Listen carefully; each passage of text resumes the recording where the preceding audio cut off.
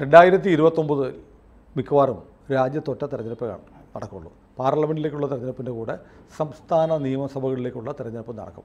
അപ്പോൾ ഒരു സംശയം അതിനിടയ്ക്ക് ഇപ്പോൾ ദാ ഈ ജമ്മു കാശ്മീർ ഇലക്ഷൻ നടക്കുന്നു മഹാരാഷ്ട്ര വരാൻ പോകുന്നു ഹരിയാന വരാൻ പോകുന്നു അങ്ങനെ ജാർഖണ്ഡ്. ജാർഖണ്ഡ് വരാൻ പോകുന്നു അങ്ങനെ കുറേ തെരഞ്ഞെടുപ്പുകൾ ഇപ്പോൾ നടക്കുന്നുണ്ട്.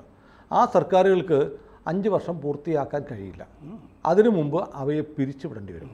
അപ്പോൾ ഇന്ത്യയിൽ രണ്ടായിരത്തി ഇരുപത്തൊമ്പത് മുതൽ ഒറ്റ- തെരഞ്ഞെടുപ്പ് എന്ന ലക്ഷ്യത്തിലേക്ക് മോദി സർക്കാർ മാറിയാൽ അഞ്ച് വർഷത്തേക്ക് ഭരിക്കാൻ ജനവിധി കിട്ടിയ മാൻഡേറ്റ് കിട്ടിയ കുറേ സർക്കാരുകൾ പോകേണ്ടി വരത്തില്ലേ? അങ്ങനെ എത്ര സർക്കാർ പോകേണ്ടി വരും? ഏതാണ്ട് പതിനേഴ് സർക്കാർ പതിനേഴോ? രണ്ടായിരത്തി ഇരുപത്തി ഒമ്പതാകുമ്പോൾ. അത് താഴെ വീഴുക പിരിച്ചുവിടുക ഇങ്ങനത്തെ പരിപാടി താഴെ വീഴല്ല പിരിച്ചുവിടേണ്ടി ഓട്ടോമാറ്റിക്കലി പോകും പോകും അത് പോകും അത് ഏതൊക്കെയാണെന്ന് നമുക്ക് നോക്കാം. രണ്ടായിരത്തി ഇരുപത്തി ഒമ്പതിൽ ഈ വൺ നേഷൻ വൺ ഇലക്ഷൻ അത് നടപ്പാക്കും ഞാൻ പറയാം കേരളം. അതെ അതുണ്ട്. ഇപ്പോൾ തന്നെ പണി തുടങ്ങണം കേന്ദ്രം.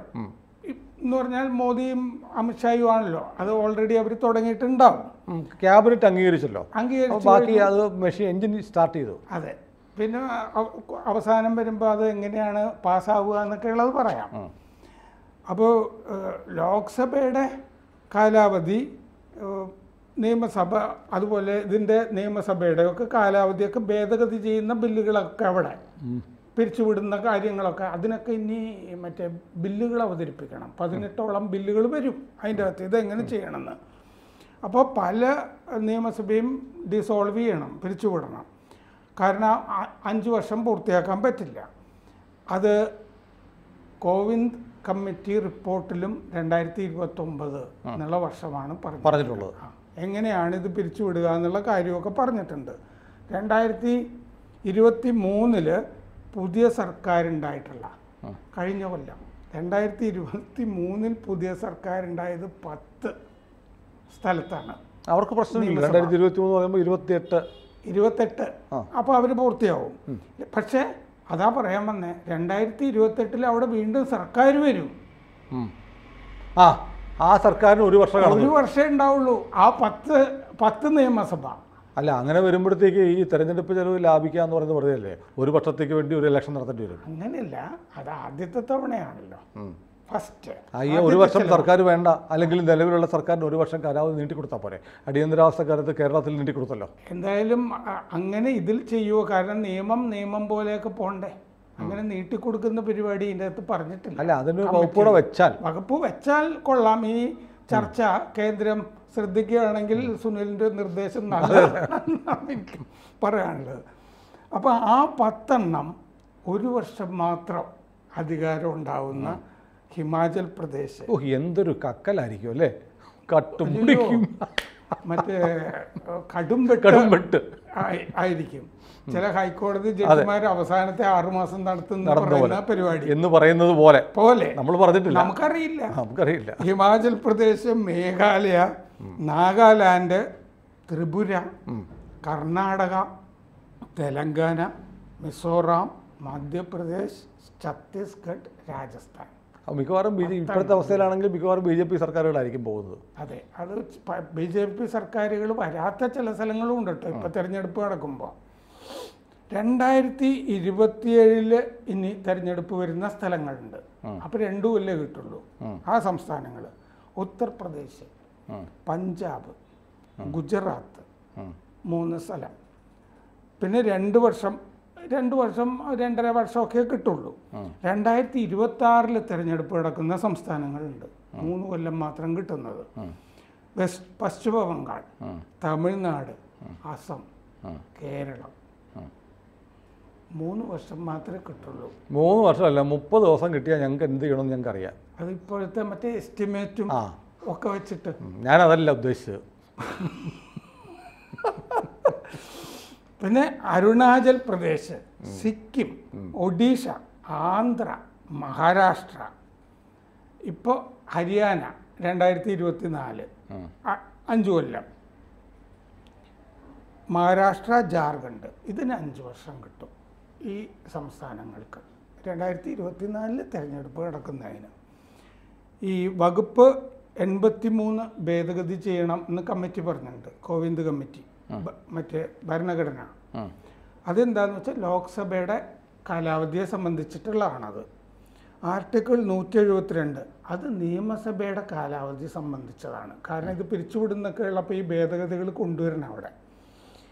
അപ്പോൾ ആ സംഗതികൾ പാസ്സാകണം ഈ രണ്ടെണ്ണം. അത് പാസ്സായാലേ ഈ one one nation one election വരുള്ളൂ. ഇനി പാസ്സാവുമോ എന്നുള്ളതാണല്ലോ. രണ്ടായിരത്തി ഇരുപത്തി ഒമ്പതിൽ വന്നാൽ ലോക്സഭയോ അസംബ്ലിയോ അഞ്ചു കൊല്ലത്തിന് മുമ്പോ മുമ്പ് തന്നെ പിരിച്ചു വിട്ടാൽ അഞ്ചു കൊല്ലത്തിന് മുമ്പ് പിരിച്ചു വിട്ടാൽ ഇടക്കാല തിരഞ്ഞെടുപ്പാകാം എന്ന് ഈ കമ്മിറ്റി പറഞ്ഞിട്ടുണ്ട്. ഒരു പക്ഷേ ഇലക്ഷൻ. പക്ഷേ എല്ലാ- ഇടക്കാല തിരഞ്ഞെടുപ്പ് നടന്നാലും ആ. ശേഷിക്കുന്ന കാലമല്ലേ കിട്ടുള്ളൂ അഞ്ച് വർഷം കിട്ടുള്ളൂ. അത്രേ കിട്ടുള്ളൂ. അഞ്ച് അത് വർഷം പറഞ്ഞിട്ടുണ്ട്. അത് പറഞ്ഞിട്ടുണ്ട്. എന്നിട്ട് അത് വ്യക്തമായിട്ട് പറഞ്ഞിട്ടുണ്ട്. ആ ഇടക്കാല തിരഞ്ഞെടുപ്പ് ബാക്കിയുള്ള വർഷത്തിലേക്ക് മാത്രമേ ഉണ്ടാകൂ. അൺഎക്സ്പയർഡ് ടേം എന്ന് പറഞ്ഞിട്ടുണ്ട്. അത്ര ആ കാലത്തേക്ക് മാത്രമേ ഉണ്ടാവൂ. ഒരു അതൊരു വലിയ അനോമലിയാണ് കാരണം ജനാധിപത്യത്തിൽ രാഷ്ട്രീയ പാർട്ടികൾ മുന്നണി വിടാം വ്യക്തികൾ രാഷ്ട്രീയം മാറാം അല്ലെങ്കിൽ രാജിവെക്കാം ഇതൊക്കെ സംഭവിക്കാം. അങ്ങനെയൊക്കെ സംഭവിക്കുമ്പോൾ കൂടിയേ ജനാധിപത്യം സാർത്ഥകമാവുള്ളൂ. അല്ലാതെ എല്ലാവരും ഒരു പാർട്ടിയിൽ നിന്നാൽ ആ പാർട്ടിയിൽ ആ മുന്നണി ഒരുമിച്ച് പോകണം പറഞ്ഞ പോലെ അങ്ങനെ മന്ത്രിസഭകൾ സർക്കാരുകൾ വീഴാം. അപ്പൊ ഒരു മിഡ് ടേം ഇലക്ഷൻ നടത്താം രണ്ടായിരത്തി ഇരുപത്തി ഒമ്പതിന് മുമ്പ് മുമ്പ് വരെ മാത്രമേ ഈ വക പരിപാടികളൊക്കെ നടക്കൂ. പക്ഷേ അതിനകത്ത് എനിക്കൊരു അഭിപ്രായ വ്യത്യാസമുണ്ട്. കാരണം ഒരു സർക്കാരിന് ഈ തിരഞ്ഞെടുക്കപ്പെടുന്ന സർക്കാരിന് അഞ്ച് വർഷം എന്നുള്ളൊരു സങ്കല്പമുണ്ട്. അഞ്ച് വർഷമെങ്കിലും വേണം ഒരു സർക്കാരിന് എന്തെങ്കിലുമൊക്കെ ഫ്രൂട്ട്ഫുള്ളായിട്ട് ചെയ്യാൻ. ഇതിങ്ങനെയൊക്കെ പിരിച്ചുവിടും എന്ന് പറഞ്ഞുള്ള ഭരണഘടനാ ഭേദഗതികൾ വരും. വരും. വരും. പിന്നെ അഞ്ച് വർഷം കിട്ടാത്ത ആ സർക്കാരുകൾ ഉണ്ടല്ലോ ഒരു കൊല്ലം രണ്ട് കൊല്ലം. അതിലൊക്കെ അവിശ്വാസ പ്രമേയങ്ങൾ വരാനുള്ള സാധ്യത വളരെ കുറവാണ്. എന്നാണ് പണ്ഡിതര് പറയുന്നത്. ഒരു വർഷമല്ലേ ഉള്ളൂ. നമുക്കെല്ലാം നമുക്ക് ഇനി അഡ്ജസ്റ്റ് ചെയ്ത് അഡ്ജസ്റ്റ് ചെയ്ത് ഒരു ഷെയർ നമുക്ക് തന്നാൽ മതി. എന്നും പെൻഷനൊക്കെ കിട്ടണ്ടേ എന്നൊക്കെ നടക്കും ഈ ഇനിയുള്ള ഭാഗം പാസ്സാകാനായിട്ട് എന്താന്ന് വെച്ച് കഴിഞ്ഞാൽ അതാണ് ഇപ്പോൾ വലിയ പ്രശ്നം. ബി ജെ പിക്ക് ഭൂരിപക്ഷമില്ല.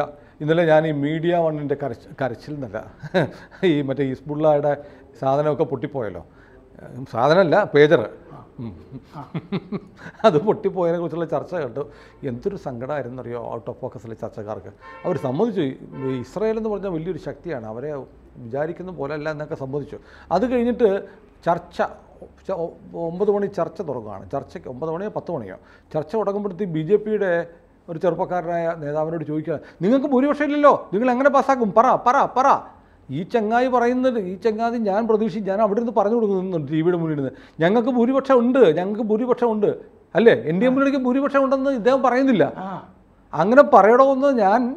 ഈ ടി വിയുടെ മുന്നിൽ ഇരുന്ന് പറയുന്നു. ഞങ്ങൾക്ക് ഭൂരിപക്ഷം ഉണ്ട്. അപൂർവ അവസരങ്ങളിൽ ഞാനും ഇങ്ങനെ ഒച്ച വെച്ച് ഭാര്യനെ ചീത്ത പറഞ്ഞിട്ടുണ്ട്.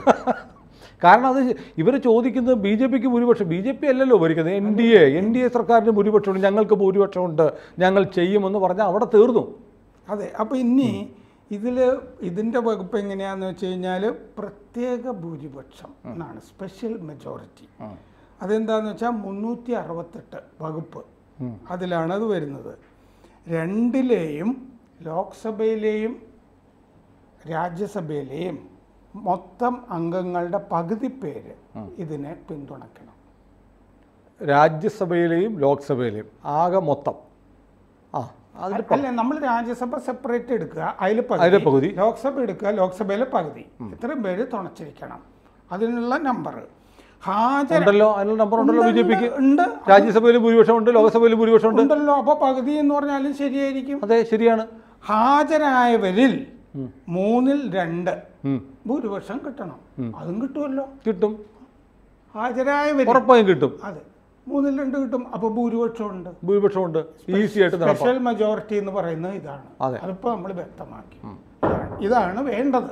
ഈ ഭരണഘടനാ ഭേദഗതികൾ പാസ്സാകാൻ. പാസ്സാവും. സംസ്ഥാനങ്ങളുടെ അംഗീകാരം വേണമെന്ന് കേട്ടോ ആ അത് ഏതിനാണെന്നറിയോ ഈ ലോ മറ്റേ തദ്ദേശ സ്വയംഭരണ സ്ഥാപനങ്ങളുടെ തെരഞ്ഞെടുപ്പ് നൂറ് വർഷ നൂറ് ദിവസത്തിനകം നടത്തുന്നു പറഞ്ഞില്ലേ? അതിന്റെ വകുപ്പ് എന്താണെന്നറിയോ പകുതി സംസ്ഥാനങ്ങളുടെ പിന്തുണ അതിന് കിട്ടണം. കാരണം അത് സംസ്ഥാന വിഷയമാണ്. ലോക്കൽ ബോഡി എന്ന് പറയുന്നത്. അതെ. മുഴുവൻ സംസ്ഥാനങ്ങളുടെ അല്ല പകുതി സംസ്ഥാനങ്ങൾ ഇന്ത്യയിലത്തത് അതിനെ അതും. നടക്കുമല്ലോ, കിട്ടുമല്ലോ. അതും പാസ്സാവുമല്ലോ ബി ജെ പിക്ക് പകുതി സംസ്ഥാനങ്ങളുടെ പിന്തുണ ഉണ്ടല്ലോ. അതെ. അതിന്റെ അകത്ത് ആകെ സംശയം പറയുന്ന ഈ മഹാരാഷ്ട്ര ഹരിയാന. ജാർഖണ്ഡൊക്കെ പോകുമോ അത് ചിലതൊന്നും ഇവരുടെ കയ്യിലല്ലല്ലോ ഇപ്പോൾ ജാർഖണ്ഡൊക്കെ. അതെ അതെ. മഹാരാഷ്ട്രയും ഹരിയാനയും ഇപ്പോൾ ചിലപ്പോൾ വലിയ താമസമില്ലാതെ കർണാടക കിട്ടും ബി ജെ പി കർണാടക കിട്ടാൻ സാധ്യത വളരെ കൂടുതലാണ് കാരണം ഭയങ്കരമായ അഴിമതിയും പടലപിണക്കങ്ങളുമാണ് അതെ അതെ. അപ്പോൾ മറ്റേ നൂറ് ദിവസത്തിനകം ലോക്സഭാ തിരഞ്ഞെടുപ്പും നിയമസഭാ തിരഞ്ഞെടുപ്പും ഒന്നിച്ച് നടത്തും. അത് കഴിഞ്ഞ് നൂറ് ദിവസത്തിനകം എല്ലായിടത്തും തദ്ദേശ സ്വയംഭരണ സ്ഥാപനങ്ങളിലേക്ക് തിരഞ്ഞെടുപ്പ് നടക്കും. ആ ഭരണഘടനാ ഭേദഗതിയെ പകുതി പകുതി സംസ്ഥാനങ്ങൾ അല്ല അവിടെ ഇപ്പോൾ ഇന്നലെ ഈ മീഡിയ വണ്ട ചർച്ചയ്ക്കകത്ത് ഈ പ്രശ്നം പറയുന്നുണ്ടായിരുന്നു. അപ്പോൾ നൂറ് ദിവസം കഴിഞ്ഞ് പിന്നൊരു തിരഞ്ഞെടുപ്പ് നടത്തണ്ടേ? അപ്പോഴും കേന്ദ്രത്തിന് ഈ ചെലവ് വരത്തില്ല? ഇല്ല. ഈ ചെലവ് തദ്ദേശ ലോ സ്വയംഭരണ തെരഞ്ഞെടുപ്പുകൾ നടത്തുന്ന സംസ്ഥാന സർക്കാരുകളാണ്. കേന്ദ്രസേന വേണ്ട സംസ്ഥാന പോലീസാണ് സംസ്ഥാന ഇലക്ഷൻ കമ്മീഷനാണ്. അപ്പോൾ കേന്ദ്ര ഇലക്ഷൻ കമ്മീഷന്റെ ഈ ഭാരിച്ച ചെലവ് അവിടെ ഉണ്ടാവുന്നില്ല. മാത്രമല്ല ഇതിൽ വേറൊരു വകുപ്പുണ്ട്. ആ ചെലവില്ലേ? ഈ ലോക്സഭ മറ്റേത്.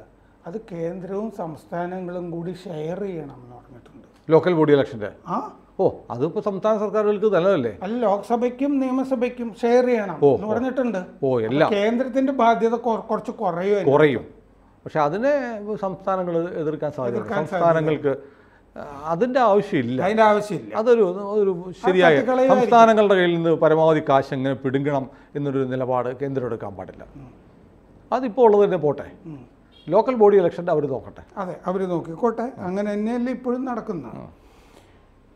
തദ്ദേശ തെരഞ്ഞെടുപ്പ് അതെ പകുതി പേര് ചെയ്തിരിക്കണം. പിന്നെ ബീഹാറിലെ തെരഞ്ഞെടുപ്പ് രണ്ടായിരത്തി ഇരുപത്തി അഞ്ച് ആണ് നാല് വർഷം കിട്ടും. ആ നാല് വർഷം അവർക്ക് കിട്ടും. അത് കഴിഞ്ഞ് കളയും.